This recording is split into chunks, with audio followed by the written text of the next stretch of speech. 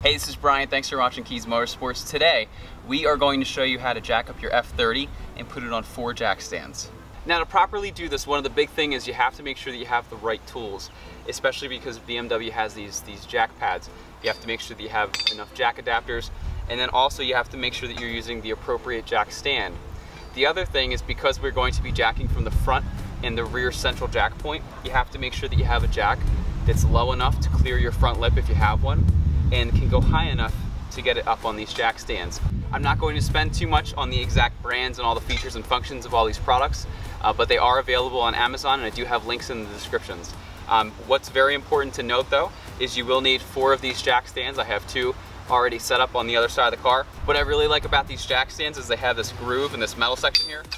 So if you put one of these, these Burger Motorsports jack adapters, it doesn't slide off if you're going to jack up a car that doesn't have jack adapters or maybe you're just gonna jack your BMW up without them, it has these really thick, really nice rubber stoppers that just go on top here. Once you put a little weight on it, they sink down. They won't stick up all goofy like that. Um, these are definitely a must-have if this is something you're going to be doing. Now, just to share with you just a little bit about the jack, you'll see that this is an extra low profile um, jack. You can see that from here to here, it, it's extremely low. I forget the exact number. It's like two and a half inches or so. Um, and it has just an extra long reach, especially if you have a lower car. This is a must-have. We work on cars that are raised, we work on cars that are lowered, so we need to make sure that we have something that can get under those low cars. This is one of the only jacks that I found that can do it. Um, once you slide this under the car, it actually lifts the car about 24 inches off the ground. So it's great for something like when you want to put a lower car on high jack stands. There's not many jacks that can do that. Uh, we used to use the aluminum jacks, which are great because they're nice and light, right?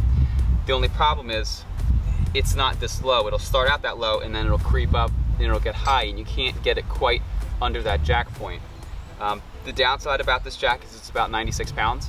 So it's really heavy, especially if you need to transport it. So there's pros and cons with everything. So the con of this thing is it's just really, really heavy, but it works amazing. So let's go ahead and, and show you what to do. Now when you're trying to find that central jack point, when you're putting the jack under the front, sometimes it can be a little bit hard to see. So what I like to do is I like to go under and mark it with some tape.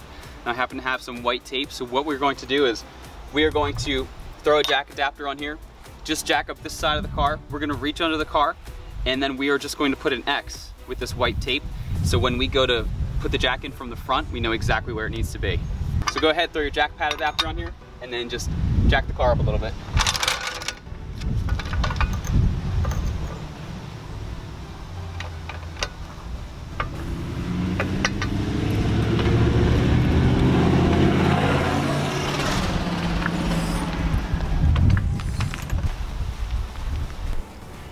Okay, so when you're under your car, basically what you're going to do is when you want to draw an imaginary line down the center of the vehicle and then between the two axles. So in this case, this little piece right there with the hole in it, right in the middle of the screen, that's where we're going to jack. So let's go ahead and put a piece of tape on there and then we will uh, go ahead and proceed to jack up the front of the car. Okay, and once again, can't really tell it's an X from here, but X marks the spot. I'll show you what it looks like The front of the car. So it's, it's quite easy to reach from the front. See there it is right there. Again, it's basically in line with your axles and then it's right down the middle of the car. All right, so at this point we have a really good idea where the central jacking point is in the front of the vehicle. Let's go ahead and mark the back.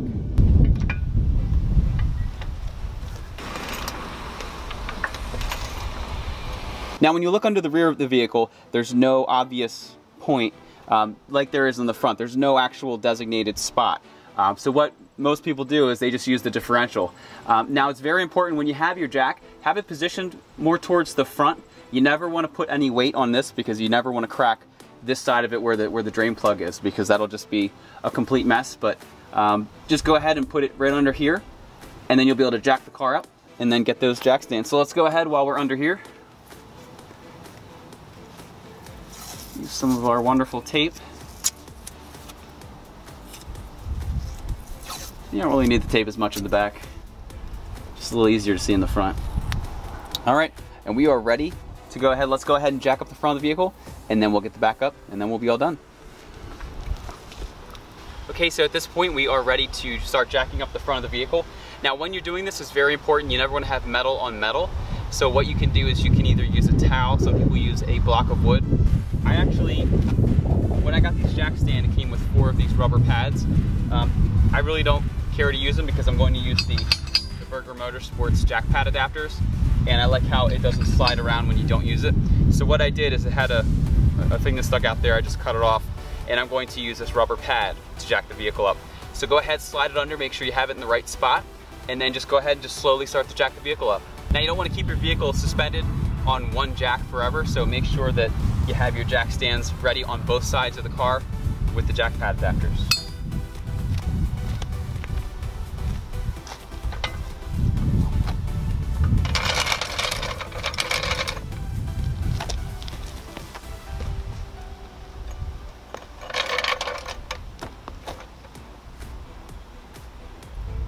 One of the nice things about using the rubber that came off of these jack stands is A, it doesn't slide around, uh, B, it fits really snug on that jack pad adapter, and C, you can actually see really well where it's sitting. All right, so let's go ahead and slowly start jacking the front of the vehicle up.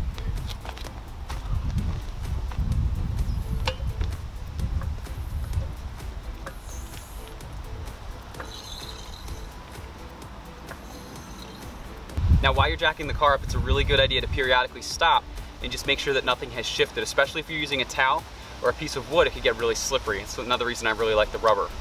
Everything looks good, so we'll keep going.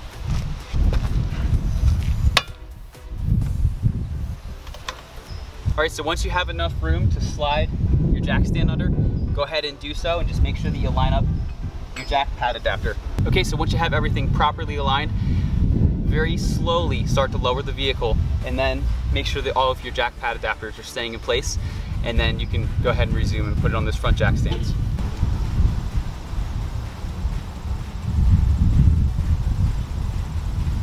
So just do a little bit at a time.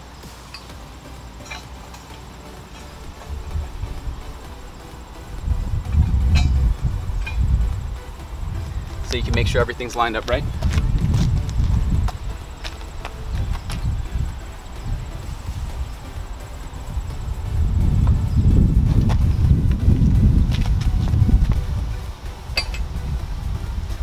side looks good. Now on the other side, we just have to make a slight adjustment to just jack the car up a little bit.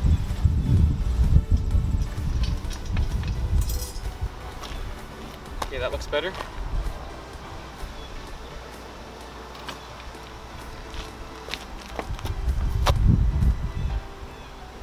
Okay, everything looks really good on both sides, so just go ahead, very gently let the car fully down.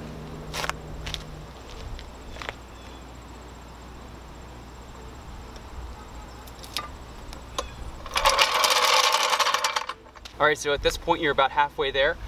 The front of the vehicle is up on two jack stands. Now let's go ahead and do the rear. Okay, we've successfully done the front.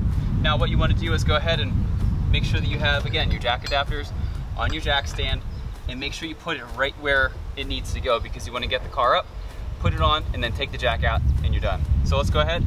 We'll go ahead and put it on the differential. Make sure that you put it in the correct spot. Now, as you'll notice, the differential is pretty far under there. So a lot of times you're not going to be able to get a full pull out of your jack. You're going to have to have it at a, a pretty low angle and just do it a little bit at a time. It's perfectly normal. At this point, it's just very important to make sure that you have it on the differential the correct way because you don't want to damage anything.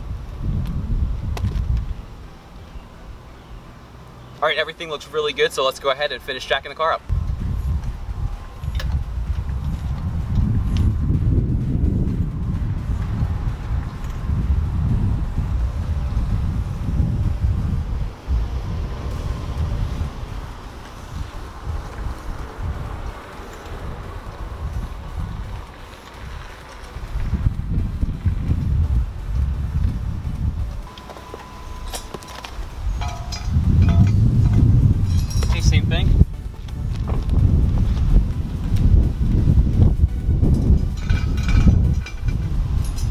Once you have these lined up, go very slow again. Make sure that everything is correct and in place.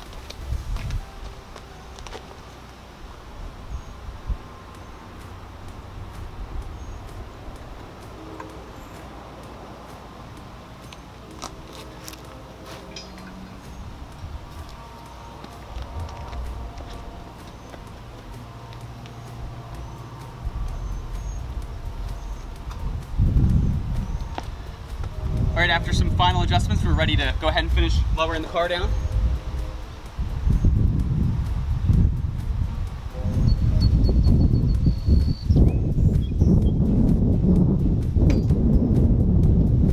Now this is just super important to show you where you should be jacking on your differential. You can see that I'm on the black and not on the silver there. Okay, lower that jack completely down now.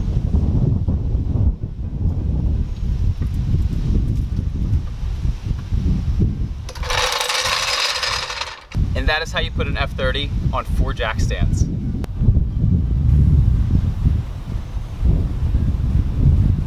Now whenever you have your car on jack stands, hey, after you get that fourth jack stand up, just go ahead and go around and just check one more time.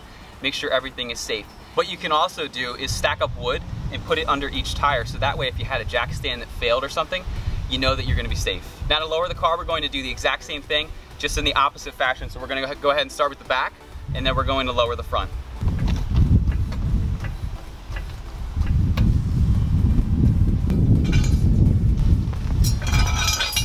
Go to lower your car back after you remove these two jack stands, make sure you go extremely slow because the whole front of the car is still on jack stands. So you always want to be very cautious. You never want it to fall off the jack stand.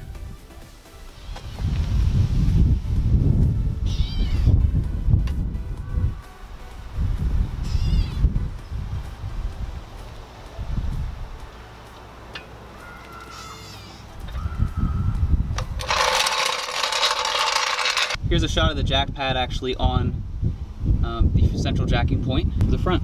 Okay, everything is correctly positioned and we are ready to lower the vehicle. So again, just make sure that you go very slow. You never wanna go fast. Just jack it up a little bit, get the stands out, and then slowly lower it down.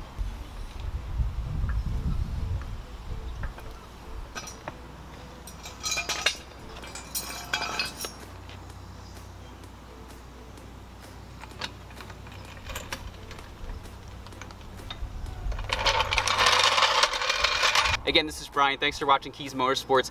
As always, try everything at your own risk. Make sure that you use the right tools, take your time, and do it right. If you have any questions, let us know. We'll be happy to help.